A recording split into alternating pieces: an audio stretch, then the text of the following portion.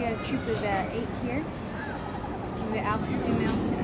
Hello, my name is Eva Mack, and I'm one of the keepers here at the San Francisco Zoo. And I'm lucky enough to um, be able to take care of the meerkats here at the zoo. And um, what we do, well, our animals here, we have eight individuals that live in our um, mob or our family here, and every day they get um, enrichment, something different to help um, them play and stimulate and have a good time here.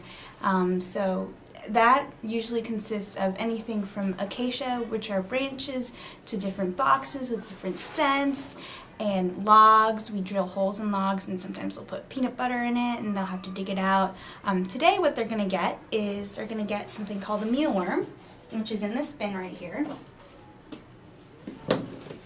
And um, we have a bunch of these guys for the meerkats. And um, usually on Saturdays and Sundays and sometimes in the uh, summertime we will actually woo, we will actually um, go out and do a program teach people about the meerkats and they will be able to feed these guys to the meerkats just like we're going to do right now.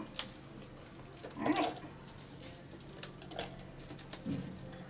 looks enough. These are just treats. They normally get um, two meals a day, a day. They get a breakfast and they get a dinner. And they get this right here, which is um, carrots and yams, a little bit of apple and banana, and then they get a meat product every day. Something different, again, something to enrich them, something different. So they're, they uh, don't expect it. Um, Oh, put them on the back, yeah. yeah, up there. Well, I want people to notice these things. Yeah, well, I'm because I'm shooting kind of tight, Yeah, and know I you're don't have the shooting table. tight, too.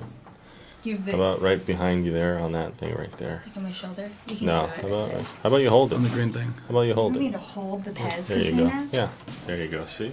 That's um, I'm shooting even tighter than that. Oh, never mind. God. If you put it up next to that guy, Yeah, put it next to that guy.